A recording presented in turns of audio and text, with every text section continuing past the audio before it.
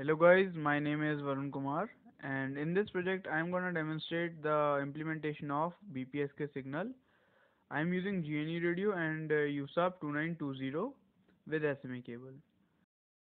So as you can see this is the block that I created and uh, as soon as I push the play button